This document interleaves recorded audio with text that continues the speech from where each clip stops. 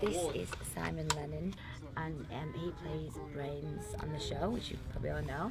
And what probably don't know about Simon is the fact that he actually has the biggest weapon.